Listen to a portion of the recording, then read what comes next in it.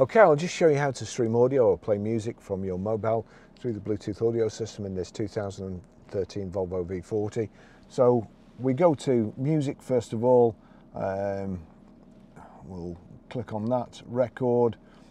You see there, I'll just turn it down, but at the bottom there, you'll the silver sorry, the three silver circles and the silver triangle. You see my Volvo car. If you click on that, that gives you the choice of what it will play through at the moment, iPhone or my Volvo. It, my Volvo's ticked. Anything that plays, any audio that plays on this mobile, if you have this set up properly, it will come through the speakers in the car. So now, at the moment it's on telephone, that's, click on media, we're on CD at the moment. Now we need to get to Bluetooth.